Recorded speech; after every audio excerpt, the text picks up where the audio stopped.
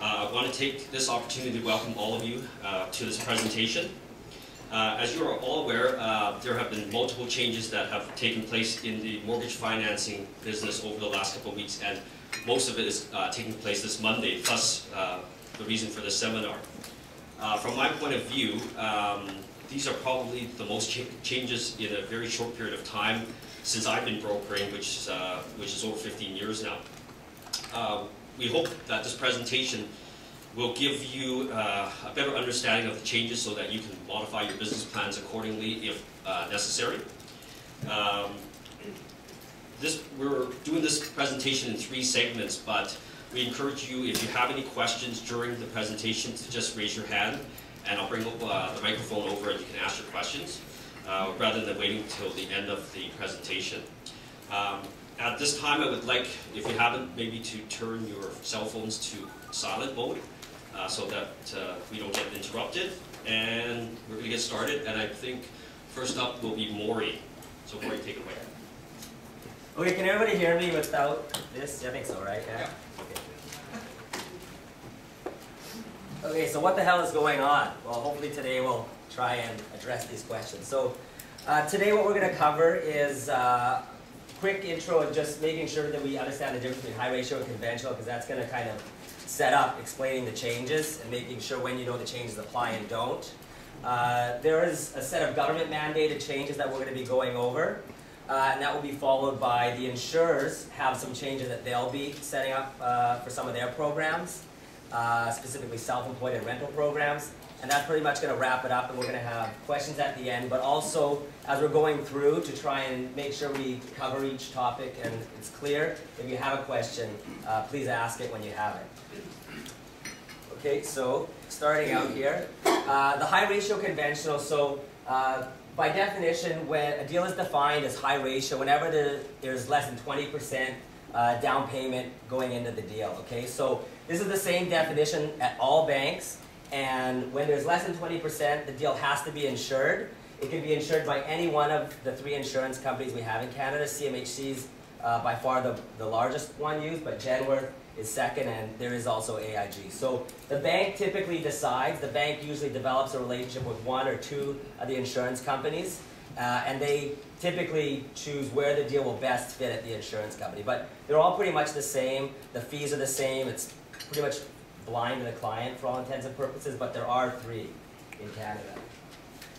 Uh, and then conventional is where there's more than 20% in the deal. So just two kind of broad uh, categories of deal, high ratio and conventional, okay? Uh, so we wanted to set that up because the government mandated changes. These apply to all deals at all banks, at all insurance companies when there's less than 20% down, okay?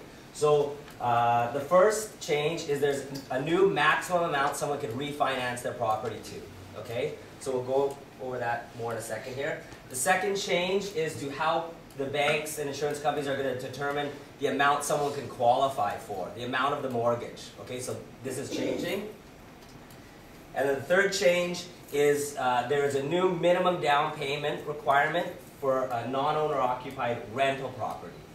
Okay, and there is one common misconception that is commonly asked when the, about the changes is a new minimum down payment. If someone's going to live in the property, there's no change to this. So if someone's going to buy a house and they're going to live in it, uh, there's no change. They can still buy with as little as 5% down. Okay?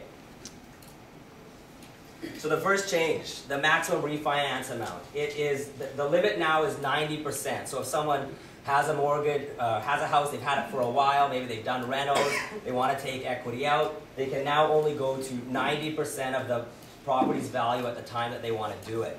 Before it was 95% they could go up to. So um, this was kind of more put in place to address some problems we've seen in, in the States more than Canada where the market took property values up. People just kind of refinancing every year and they weren't really doing anything to the property but kind of treating their house like a bank account.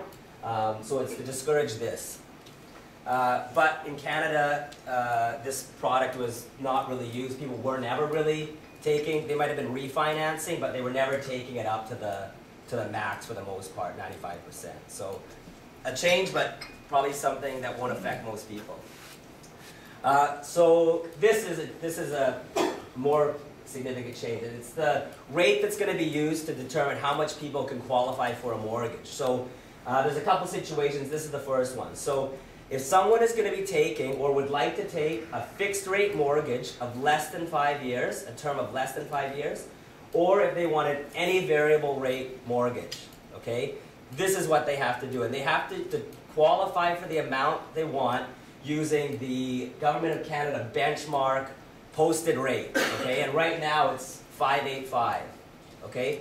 So I put verses 385 there because uh, before today, someone could qualify for a variable rate mortgage using a much lower rate than they're going to be forced to now.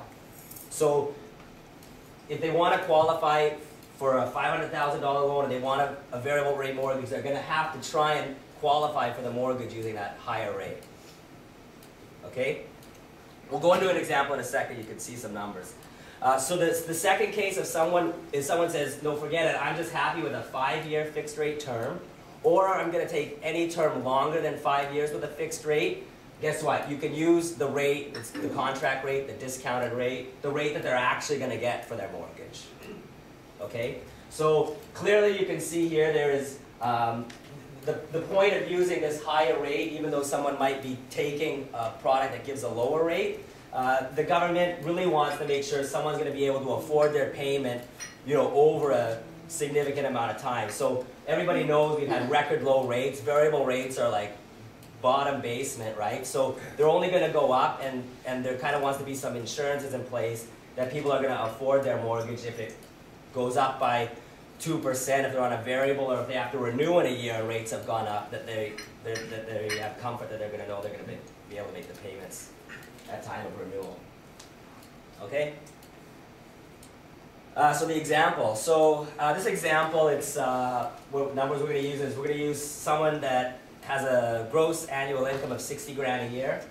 Um, I use average property taxes amount, uh, heat, and I'm assuming they have no other debts like a car loan, student loan, stuff like that. So the old max, uh, meaning that 385 rate. So if someone was taking a variable rate mortgage or something, yesterday uh, this person uh, or these two people or whatever it is could have qualified for a mortgage amount, not a purchase price, a mortgage amount of 439.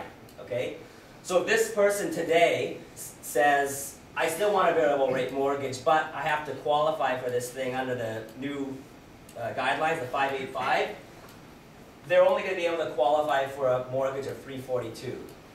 They could still have a variable rate mortgage, but the amount that they could get if they want a variable or a term less than five years is much lower. Okay? But then there is some saving grace here then if, if you say, you know, forget it, I'll take a five-year fixed because then I can qualify for it with the rate I'm gonna get. They can they can qualify for a mortgage of 396. So clearly, uh, especially in Vancouver, there's gonna be a, a, a pressure, a funnel I would say, to more people maybe taking a five-year fixed uh, in order to qualify for the amount they need. Uh, may not be a huge deal for a lot of people. There is a clear preference in, in Canada for five-year fixed, but we all know that everybody doesn't uh, take a five-year fixed. Okay, so um, it's just kind of how the numbers line up with the qualifications. So any any any questions on this one? No. Okay, so the last